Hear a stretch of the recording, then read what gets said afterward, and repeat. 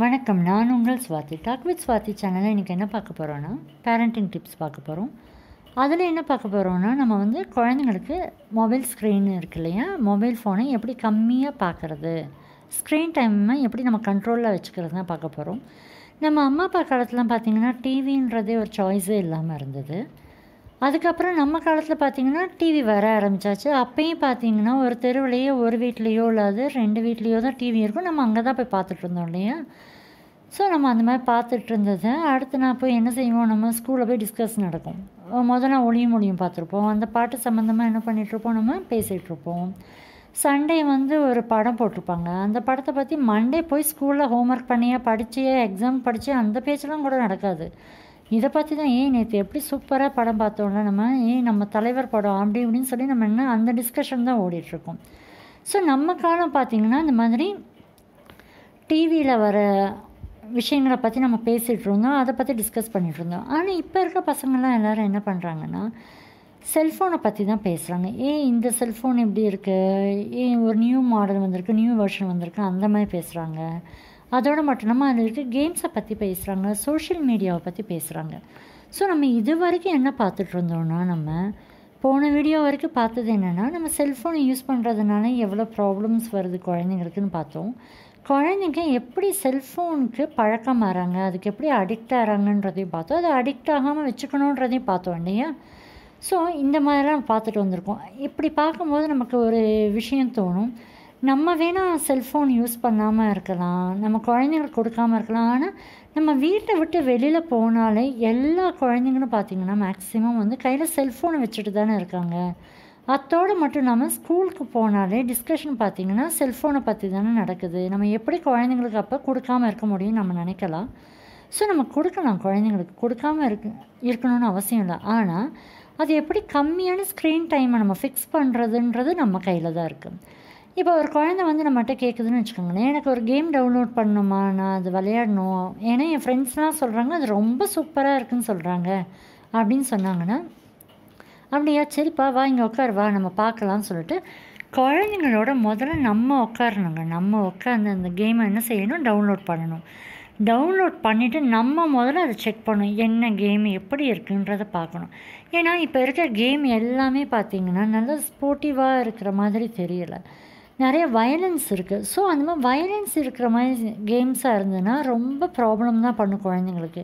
ஏன்னா செல்ஃபோனையும் யூஸ் பண்ணக்கூடாதுன்னு நம்ம சொல்லிட்டு இருக்க காலத்தில் இந்த மாதிரி செல்ஃபோனையும் கொடுத்து அதில் கேம்ஸையும் டவுன்லோட் பண்ணி அதில் பார்த்திங்கன்னா ஏகப்பட்ட வயலன்ஸை கொடுத்து அந்த குழந்தைங்களோட மனநிலை என்ன ஆகும் சொல்லுங்கள் செல்ஃபோனை யூஸ் பண்ணாலே நிறைய ப்ராப்ளம் இருக்குதுன்னு பார்த்தோம். அதோடு மட்டும் இல்லாமல் இந்த வயலன்ஸான கேம்ஸ்லாம் விளையாடும்போது இன்னும் அந்த குழந்தைங்களோட மனசு பாதிக்கப்படும் அந்த குழந்தைங்களுமே வந்து பிஹேவியரும் ரொம்ப மோசமான பிஹேவியராக இருக்கும். அதனால் நம்ம பண்ண வேண்டிய வேலை என்னென்னா குழந்தைகள் எந்த பொன் குழந்தையாக இருக்கட்டும் ஆண் குழந்தையாக இருக்கட்டும் ஒரு கேம் வேணும்னு சொன்னாலே நம்ம ஃபஸ்ட்டு டவுன்லோட் பண்ணணும். அண்ட் டவுன்லோட் பண்ணி அதில் வந்து ஏதாவது விஷயங்கள் தப்பான விஷயங்கள் இருக்கா முதல்ல பார்க்கணும். தப்பான விஷயம் இருந்தால் அந்த குழந்தைங்களுக்கு எப்படி சொல்லி நீங்கள் புரிய வைக்கணுமோ புரிய வச்சு இந்த கேம் வேணாம் பாப்பா நீ வேறு கேம் எடுத்துக்கோ. ஒரு நல்ல கேம் எடுத்து நான் விளையாட அதில் நீ வின் பண்ணு. அப்படின்றத நம்ம என்ன செய்யணும்? குழந்தைங்களுக்கு கொஞ்சம் புரிகிற மாதிரி அழகாக சொல்லணும் நம்ம. ஸோ இந்த மாதிரி இல்லாமல் ஒரு கேம் விளையாடணும்னு சொல்லும்போது சரி பாப்பா இந்த நீயே டவுன்லோட் பண்ணிக்கோ நீயே விளையாடிக்கோன்னு சொல்லிட்டு நம்ம கவனிக்காமல் போனால் அது எல்லா விதத்துலேயும் தான் என்ன செய்யும்? ப்ராப்ளத்தை உண்டு பண்ணும். ஸோ ஃபஸ்ட்டு கேம் வேணும்னும் போது நம்ம அவங்களோட உட்காரணும் உட்காந்து டவுன்லோட் பண்ணி நம்ம முதல்ல பார்த்துட்டு அந்த குழந்தைக்கு தரணும். ஏன்னா நம்ம நிறைய கேள்விப்பட்டிருக்கோம் இல்லையா? சேலஞ்செலாம் தர கேம்ஸ்லாம் இருக்குது ஸோ இந்த மாதிரி சேலஞ்செலாம் தர கேம்ஸில் எவ்வளோ ஒரு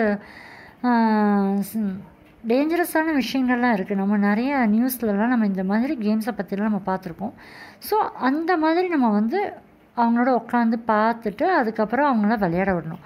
அதே மாதிரி விளையாட விடும்போதும் நீங்கள் என்ன செய்யணுன்னா ஒரு கேம்ஸ்க்கு இவ்வளோ தான் டைம் ஸ்க்ரீன் டைம் பார்த்தீங்கன்னா இவ்வளோ தான் அப்படின்றத நீங்கள் என்ன செஞ்சணும்? ஃபிக்ஸ் பண்ணிக்கணும். அதே மாதிரி டேயும் ஃபிக்ஸ் பண்ணிக்கணும். நமக்கு வாரத்தில் ஏழு நாள் இருக்குது ஸோ அந்த ஏழு நாளில் பார்த்தீங்கன்னா ஏதாவது ஒரு டேயை ஃபிக்ஸ் பண்ணிக்கோங்க. ஓகே சண்டே விளையாடுறியா? ஓகே சண்டே விளையாடு அப்படின்றத ஃபிக்ஸ் பண்ணிவிடுங்க ஸோ சண்டே அந்த குழந்தை வந்து அவன் டே வந்தவுடனே விளையாடட்டும். Half an hour time fix பண்ணுங்க ஹாஃப் அன் ஹவர் விளையாடட்டும். அந்த ஹாஃப் அன் ஹவர் முடிஞ்ச உடனே நீங்கள் என்ன செஞ்சிடணும்? ரிமைண்ட் பண்ண ஆரம்பிச்சிடணும். ரிமைண்ட் பண்ணி நீங்கள் அதை வந்து ஃபினிஷ் பண்ணுற ஸ்டேஜுக்கு கொண்டு வந்துடணும். இல்லைம்மா எனக்கு ஃபினிஷ் ஆகலைன்னா okay one hour two minutes three minutes maximum five minutes கூட எக்ஸ்ட்ரா கொடுக்கலாம். ஏன்னா அவங்களுக்கு ஒரு லெவல்னு இருக்கும் இல்லையா? அந்த லெவல் வந்திருப்பாங்க. அதை அச்சீவ் பண்ணட்டும்னு கொடுக்கலாம். அது தப்பு கிடையாது. ஆனால் அதையும் விட்டுட்டு அவங்க இஷ்டப்படி தரட்டும் அப்படின்ற மாதிரி அவங்க கண்ட்ரோலில் விடாமல் நம்ம கண்ட்ரோலில் வச்சுக்கணும். இது ஒரு ஃபஸ்ட் பாயிண்ட்டு செகண்ட் பாயிண்ட் பார்த்தீங்கன்னா இந்த குழந்தைங்க என்ன பண்ணுவாங்கன்னா ஒரு நாள் விளையாட ஆரம்பிச்சிட்டாங்க இல்லையா? சண்டே விளையாட ஆரம்பிச்சிட்டாங்க. அவங்களுக்கு என்ன ஆக ஆரம்பிச்சுன்னா அவங்களுக்கு மறுபடியும் அடுத்த வார சண்டே எப்போ வரும் அப்படின்னு வெயிட் பண்ணிகிட்ருப்பாங்க இருப்பாங்க. அதுக்கு நடுவுலையே அவங்களுக்கு என்ன தோண ஆரம்பிச்சுன்னா நான் விளையாடணும் விளையாடணும்னு ஒரு எண்ணம் தோண ஆரம்பிச்சோம் ஏன்னா ரொம்ப இன்ட்ரெஸ்டிங்காக இருக்கும் இல்லையா? கண்ணுக்கு பார்க்கவும் இன்ட்ரெஸ்டிங்காக இருக்கும் குழந்தைங்களுக்கு. காதில் அந்த சவுண்டெல்லாம் கேட்குறதுக்கு ஒரு இன்ட்ரெஸ்டிங்காக இருக்கும். அதோட மட்டும் இல்லாமல் நம்ம ஸ்கோரை வந்து இன்னும் கொஞ்சம் இம்ப்ரூவ் பண்ணணும் இம்ப்ரூவ் பண்ணணும். அந்த ஒரு மென்டாலிட்டியும் குழந்தைங்க மனசில் வந்துட்டுருக்கும் ஸோ அந்த மாதிரி லெவல் அப் பண்ணணுன்ற ஒரு மென்டாலிட்டி இருக்கும்போது அந்த குழந்தைங்க என்ன பண்ணணும்னா அம்மாம்மா நான் இன்றைக்கி விளையாடிக்கிறேம்மா. நான் சண்டே விளையாடலம்மா. நான் இன்னைக்கு விளையாடிக்கிறேம்மா. அப்படின்னு சொல்லுவாங்க. அது எப்போ ஆரம்பிப்பாங்க? ஒரு வென்ஸ்டேலேயே ஆரம்பிச்சிடுவாங்க. வேணடா நம்ம தான் சண்டே தான் ஃபிக்ஸ் பண்ணியிருக்கோம்னா சண்டேயே விளையாடலான்னு இல்லைம்மா நான் ஒரு லெவல் வந்துட்டுருக்கேன் அந்த லெவலில் நான் எப்படியாவது இன்றைக்கி முடிச்சிடுவேம்மா. ஆனால் சண்டேக்கே விளையாட மாட்டேன். அப்படின்னு நமக்கு ப்ராமிஸ் பண்ணுவாங்க. சரின்னு சொல்லிட்டு நம்மளும் என்ன செய்வோம்னா நம் ஓகே குழந்தை கேட்குறாங்களே அப்படின்னு சொல்லி கொடுப்போம்.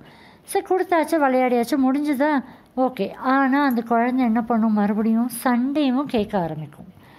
அம்மா நான் விளையாடுறேம்மா. ஏன்னாக்கண்ணா இப்போ தானே நீ சொன்னேல? வென்ஸ்டே என்ன சொன்னேன் நான் சண்டைக்கு விளையாட மாட்டேன்னு சொல்லிட்டு தான் நான் விளையாண்டேன். அப்புறம் ஏன் இப்போ கேட்குற? அப்படின்னு கேட்டால் இல்லைம்மா இது வந்து அடுத்த சண்டைக்கு நம்ம வச்சுக்கலாம். அப்படின்ற மாதிரி நம்மளையும் வந்து என்ன பண்ண ஆரம்பிச்சிருவாங்க? டேக்கிள் பண்ண ஆரம்பிச்சிருவாங்க. ஸோ இந்த மாதிரி எந்த ஒரு எக்ஸ்கியூஸுமே நம்ம குழந்தைங்கிட்ட என்ன செய்யக்கூடாது? வச்சக்கூடாது. ஒரு சண்டே விளையாடுறியா? சண்டே மட்டும்தான் விளையாடணும். ஹாஃப் அன் ஹவர் விளையாடுறியா? ஹாஃப் அன் ஹவர் மட்டும்தான் விளையாடணும். அந்த ஒரு ஸ்ட்ரிக்டான ஒரு சிஸ்டத்தை நம்ம என்ன செய்யணும்? கண்டிப்பாக ஃபாலோ பண்ணணும்.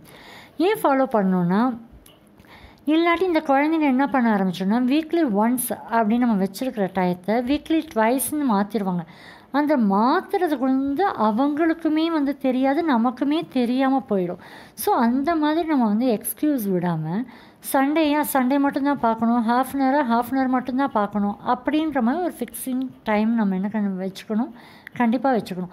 ஸோ இந்த மாதிரி கண்டிப்பாக வச்சுட்டு அவங்களுக்கு க தாராளமாக கொடுக்கலாம். தப்பு கிடையாது. சில நாள் பார்த்தீங்கன்னா இப்போல்லாம் வந்து நிறைய குழந்தைங்க வந்து என்ன ஆசைப்படுவாங்கன்னு சொன்னிங்கன்னா பாட்டு கேட்க ஆசைப்படுவாங்க. ஏன்னா லேட்டஸ்ட் சாங்ஸ்லாம் வரும். அதெல்லாம் கேட்கணும் ஆசைப்படுவாங்க. ஸோ அது வந்து ஒரு நாளைக்கு ஒரு டே ஃபிக்ஸ் பண்ணி அதுக்கு ஒரு டுவெண்ட்டி மினிட்ஸ் தேர்ட்டி மினிட்ஸ் கொடுக்கலாம். இந்த மாதிரி வீக்லி ட்வைஸ் வந்து ஃபோன் வந்து யூஸ் பண்ண கொடுக்கறது கூட தப்பு கிடையாது. அதுவும் ஒரு டே ஃபிக்ஸ் பண்ணிக்கோங்க. அந்த டைம் ஃபிக்ஸ் பண்ணிவிட்டு அதை நம்ம ஃபாலோ பண்ணாலே போதுங்க. அதுக்காக நம்ம ஃபோனை கொடுக்காமே இருக்க வேண்டாம் சொல்கிற மாதிரி. நம்ம வெளி உலகத்துக்கு போகும்போது குழந்தைங்க நிறையா குழந்தைங்க யூஸ் பண்ணுறத பார்க்குறாங்க. அவங்களும் ஆசைப்படுவாங்க. ஸோ தப்பு கிடையாது. நம்ம எப்பயுமே லைஃப்பில் வந்து அப்டேட் ஆகிட்டே போயிட்டுருக்கிறதுன்றது என்ன கிடையாது தப்பு கிடையாது. ஆனால் அது எல்லாமே ஒரு லிமிட்டோடு இருக்கணும். அதுதான் அங்கே தான் நம்ம வந்து ஸ்ட்ரிக்டாக இருக்கணுமே தவிர நம்ம செல்ஃபோனை பார்த்தாலே கண்ணு போயிடும் அந்த மாதிரி கிடையாது. நம்ம வந்து நிறைய ப்ரொசீஜர்லாம் சொல்லியிருக்கோம் இல்லையா? போன வீடியோஸ்லாம் பாருங்கள் கொஞ்சம். அந்த ப்ரொசீஜர்லாம் சொல்லியிருப்போம். கொஞ்சம் டிஸ்டன்ஸ் கீப்பப் பண்ணி வச்சு செய்யணும். ஸோ அந்த ப்ரொசீஜர்லாம் ஃபாலோ பண்ணிவிட்டு நம்ம வந்து ஒரு லிமிட்டான டைம் வச்சு ஒரு டேயை ஃபிக்ஸ் பண்ணிவிட்டு பண்ணுறது தப்பே கிடையாது. ஏன் இந்த லிமிட்டான டைம் வச்சுக்கணுன்னா ஏன்னா ஃப்யூச்சரில் பார்த்தீங்கன்னா அவங்க எல்லாமே மேக்ஸிமம் பார்த்தீங்கன்னா இப்போ சிஸ்டமில் தான் ஒர்க் பண்ணுறாங்க ஸோ அந்த குழந்தைகள் ஒரு வேலைக்குன்னு போயிட்டாலே சிஸ்டமில் தான் ஒர்க் பண்ணுற மாதிரி இருக்குது இல்லாட்டி ஒரு கண்டிப்பாக ஒரு எஜுகேஷனுக்காவது நம்ம வந்து சிஸ்டம் கண்டிப்பாக யூஸ் பண்ண வேண்டியதாக தான் இருக்குது ஸோ அப்போ அந்த ஸ்க்ரீன் டைம் பார்த்திங்கன்னா அதுக்கு ஒரு லிமிட்டேஷனே இருக்காது. நம்ம ஒர்க் பண்ணுறதுக்கு ஏதாவது லிமிட்டேஷன் இருக்கா என்ன? மார்னிங் வந்து எயிட் ஓ கிளாக்கு நம்ம வந்து சிஸ்டத்தை ஆன் பண்ணணும். நைட் எப்போ வந்து க்ளோஸ் பண்ணுவோன்னே தெரியாது. நம்ம வேலைக்கெல்லாம் போயாச்சுன்னா. ஸோ அதோட மட்டும் இல்லாமல் எஜுகேஷனே அதே மாதிரி தான் ஒரு ப்ராஜெக்ட் பண்ணணும். ஒரு ப ஒரு எதாவது பற்றி ரிசர்ச் பண்ணணும்னா நம்ம ஸ்க்ரீன் டைம் நம்ம ஃபிக்ஸாகவே வச்சுக்க முடியாது. ஸோ நம்ம நிறைய ஃப்யூச்சரில் நம்ம என்ன பண்ண வேண்டியது இருக்குது சிஸ்டத்தை பார்க்க தான் போகிறோம் கண்ணுக்கு சில ப்ராப்ளம்ஸ் வரதான் போகுது. அது ஏன் இந்த சின்ன குழந்தையிலேருந்தே வரணும் இல்லையா? ஸோ அதனால நம்ம என்ன பண்ணோம்? ஒரு ஸ்க்ரீனுக்கு வந்து ஒரு ஃபிக்ஸடான ஒரு டைம் வச்சுட்டு ஃபாலோ பண்ணணுன்றதுக்காக தான் சொல்கிறது அதோடு மட்டும் இல்லாமல் பார்த்தீங்கன்னா இன்னும் ஒரு பியூட்டியான விஷயம் பார்த்தீங்கன்னா இப்போ நிறைய ரிசர்ச்சில் கண்டுபிடிச்சிருக்கிறது என்னென்னா டென் இயர்ஸ் குழ அதாவது டென் இயர்ஸ் கிட்டத்தட்ட பத்தரை வயசுன்றாங்க. பத்தரை வயசு குழந்தைங்க இருக்கிறவங்க எல்லாருமே என்ன பண்ணியிருக்காங்கன்னா மேக்ஸிமம் தனக்குன்னு பர்சனலான ஃபோன் வச்சுக்கிறாங்க. இப்போ ரீசண்ட் ரிசர்ச்சில் இதை கண்டுபிடிச்சிருக்காங்க. Ten years ten and half இயர்ஸில் வந்து ஓனாக வந்து ஃபோன் வச்சுக்கிறாங்க எல்லாருமே.